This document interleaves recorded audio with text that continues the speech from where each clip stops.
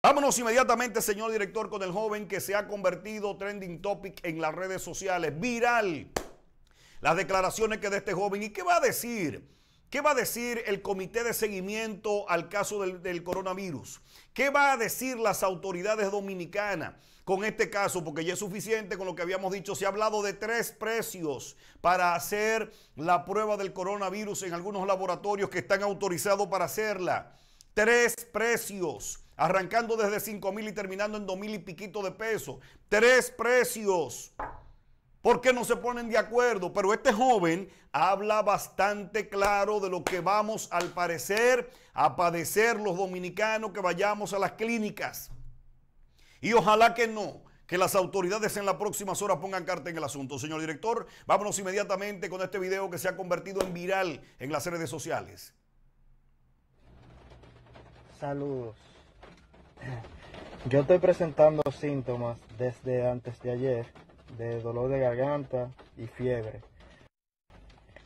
Ayer me despachan de mi trabajo, trabajo en la Aurora, vengo a Unión Médica por emergencias, me chequean, eh, me toman, me hacen un hemograma, entro con fiebre en 38, me hacen la prueba de, de la influenza para descartar salgo negativo de influenza, pero entonces sigo con los síntomas de fiebre, dolor de cuerpo, dolor de cabeza y la garganta y tos. ¿Qué pasa? Me, me hacen una indicación para el coronavirus. Me dicen que vaya a referencia, que ahí solamente que le están haciendo. Voy a referencia y cuando entrego la indicación casi me salen huyendo y me dan esa hoja que llame a esos números de teléfono que están ahí y no hay forma de comunicarse. Vuelvo a Unión Médica a ver si me ingresan y la muchacha me dice que dentro de lo que cabe yo estoy estable. Pero llego con fiebre en 38 y salgo con fiebre en 38.5 y los glóbulos blancos bajando. Y me sigue la fiebre, me siguen los dolores y todo. Entonces eh, publican en, en internet que en Amadita la hacen. Voy a Amadita, me dan otro número de teléfono, que ellos tampoco la hacen, que están esperando a que la hagan, que el seguro no la cubre. Y le pregunto por el gobierno dijo que, que el seguro le iba a cubrir. Ellos dijeron que hay que esperar las negociaciones de los seguros y eso. Entonces me mandan a referencia otra vez. Vuelvo a referencia, lo que me dan es la misma hoja y me dicen que ellos no pueden hacer nada que vuelva a Amadita, que supuestamente hay una publicación en internet que ellos sí la están haciendo. Vuelvo a Amadita y lo que me dan es otro número de teléfono, ese que está ahí, para que vaya a la clínica donde me atendieron y llamen, que ellos solamente dan servicio a domicilio, pero estrictamente en clínicas y hospitales. Vengo a la Unión Médica de nuevo y llaman al número y lo que dicen es que yo tengo que ir para ellos tomarme los datos para esperar un turno. Pero entonces cuando yo fui no me pidieron ningún dato de eso. Entonces estamos feos aquí. Estamos muy feos porque en realidad ojalá y quiera Dios que no sea eso. Pero si lo tengo, ¿cómo yo voy a mi casa teniendo una niña, mi esposa, a exponerla a que, a, que se le pegue?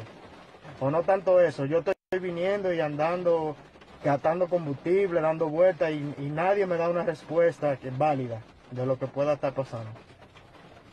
Yo espero que este video lo envíen y que se haga viral a ver si las autoridades ponen de su parte.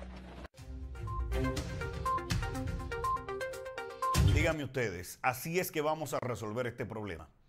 Así no. Lo pusieron a rebotar, el joven anda en las calles. Y entonces, si no hubiese sido tan responsable como lo es, de grabar el video, de protegerse, Ahora no, encuentra cómo llegar a su casa. Tiene su familia que le espera. Y él se cree que eh, él, él dice que tiene todos los síntomas de lo que es el coronavirus. Entonces así no. Nosotros esperamos que en las próximas horas las autoridades dominicanas que tienen que ver con esto pongan carta en el asunto y que se aclare bien todo lo que este joven ha hablado, porque esto es una muestra de lo que podría pasar más adelante con cualquier otra persona que vaya con fiebre, que vaya con dolor de cabeza que tenga los síntomas del coronavirus a una de las clínicas de nuestro país o que vaya a uno de los laboratorios, los laboratorios rebotando. Y entonces, ¿qué hacemos? ¿Quién es que está autorizado y quién no? ¿Cuál es la cantidad efectivamente que tenemos que pagar en efectivo o en tarjeta? ¿Son dos mil? ¿Son tres mil? ¿O son los cinco mil? ¿Cuánto es que tenemos que pagar? Esto no puede ser un relajo, esto es un asunto serio. Y el Estado dominicano tiene que empantalonarse. Hay una palabra empeñada que es la palabra del presidente de la nación. Y la palabra del presidente no se puede coger de relajo en ninguna clínica, en ningún laboratorio del país. Se puede coger de relajo la palabra del presidente de la nación dominicana. O sea, esto es una denuncia muy grave la que acaba de hacer ese joven. ¿Cómo va a llegar ese joven a su casa? Que llama al número que está establecido que debe de llamarse y nadie responde o no puede conectarse. ¿Y qué es lo que está pasando? Así no es verdad que vamos a enfrentar el coronavirus en este país.